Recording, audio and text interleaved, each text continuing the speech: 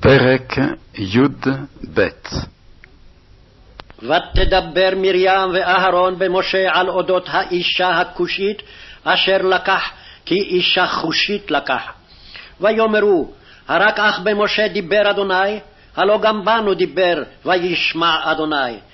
והאיש משה עניו מאוד מכל האדם אשר על פני האדמה. ויאמר אדוני פתאום אל משה ואל אהרון ואל מרים, צאו שלושתכם אל אוהל מועד, ויצאו שלושתם.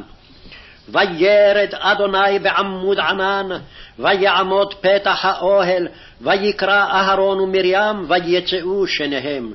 ויאמר, שמעו נא דברי, אם יהיה נביאכם אדוני, במראה אליו אתוודע, בחלום אדבר בו. לא כן עבדי משה, בכל ביתי נאמן הוא. פה אל פה אדבר בו, ומראה ולא בחידות, ותמונת אדוני יביט, ומדוע לא ירתם לדבר בעבדי ומשה? וייחר אף אדוני בם וילך. והענן שר מעל האוהל, והנה מרים מצורעת כשלג, ויפן אהרון אל מרים, והנה מצורעת. ויאמר אהרון אל משה, בי אדוני, אל נא תשת עלינו חטאת, אשר נואלנו ואשר חטאנו. אל נא תהי כמת, אשר בצאתו מרחם אמו, ויאכל חצי בשרו.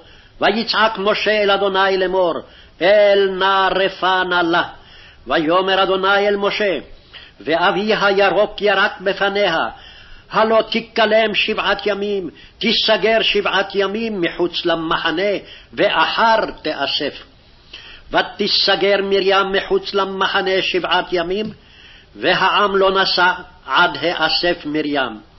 ואחר נסעו העם מחצרות, ויחנו במדבר פרן.